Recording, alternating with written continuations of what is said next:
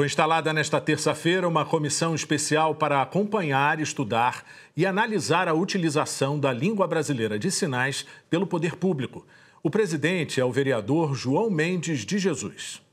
Nós tivemos, é, em dezembro do ano passado, uma reunião aqui na, na Câmara, no auditório, para tratar desse assunto. Então, onde recebemos aqui várias é, pessoas surdas, deficientes auditivas, e daí surgiram é, questionamentos, por exemplo, a respeito do atendimento no serviço público.